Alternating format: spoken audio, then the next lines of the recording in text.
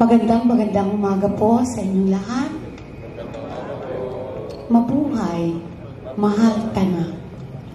Sa ating mga kagalang-galang ng mga konsihal, Honorable Ronald Liachon, Honorable Charles Pansoy, Honorable Rafael Panaligan Jr., Honorable Federico Caballo Jr., to our most reverend Father Nes Sadalia, sa atin pong Hermana Mayor, Hermano Mayor, or Bernardino, sa ating pong mga kasamang naririto ngayon, sa ating pong Deputy Superintendent, Madam Susan Bautista, mga kasama sa DepEd, sa ating pong mga bisita, sa ating pong uh, Knights of Columbus, sa ating pong mga may, uh, Tamaraw Lodge, Brotherhood, sa ating pong mga department program managers at mga kawani ng City Government of Calapan, sa ating pong mga PNP,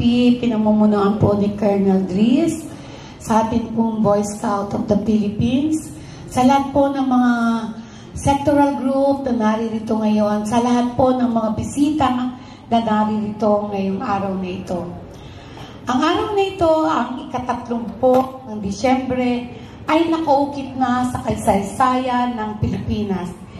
Ito ang araw kung kailan ating ginugunita ang kamatayan ng ating pambansang bayani na si Dr. Jose Rizal. Doon si Dr. Jose Rizal ay nabubuhay pa. Ginugol niya ang maraming oras at panahon sa pag-aaral at paghubog sa kanyang sariling kakayahan bukod sa natural na katalinuhang taglay Marunong din siyang gumuhit, magpinta, at makipag-usap ng iba't ibang lingwahe. Ganun na lamang niya binigyan halaga ang edukasyon. Bilang mga lingkod bayan, tinuturuan tayo ng karanasang ito ni Dr. Jose Rizal na ipagpatuloy ang pagkatuto at maging mas mahusay pa. Marami rin tayong trabaho na maglaan pa rin tayo ng panahon para sa ating personal at professional na pag-unlad upang patuloy tayong maging isang epektibo at produktibong lingkod bayan. Bukod pa rito, si Dr. Jose Rizal ay marami ring nailibhag na mga akda na nagpamulat sa mga Pilipino sa mga pang-abuso sa kanilang naranasan nung panahong tayo sinakop ng mga Kastila. Ito rin ang nagbigay, nagbigki sa mga Pilipino upang mag-alyansa at ipaglaban ang kalayaan ng ating bansa. Tayong mga lingkod bayan ay responsable sa pangkalahatang kapakanan ng ating mamamayan at imulat din natin sila sa mga katotohanan at ibigay sa kanila ang tamang serbisyo na may pagkalinga at malasakit sa sama-sama nating pagtingin sa isang bisyon.